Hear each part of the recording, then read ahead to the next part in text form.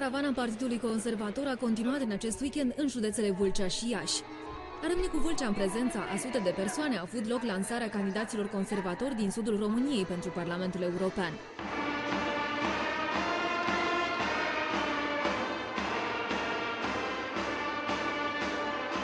Prezenta manifestare, numărul 2 pe lista conservatorilor, profesorul Irinel Popescu, le-a reamintit celor prezenți o parte din angajamentele electorale ale Partidului Conservator.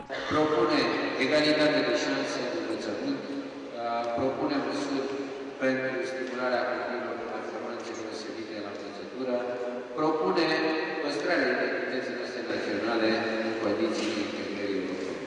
același context, fostul campion mondial la box, Mihai Leu, candidat din partea Partidului Conservator, a fost prezent la Iași la inițiativa Uniunii Naționale a Studenților la un concurs de ATV-uri.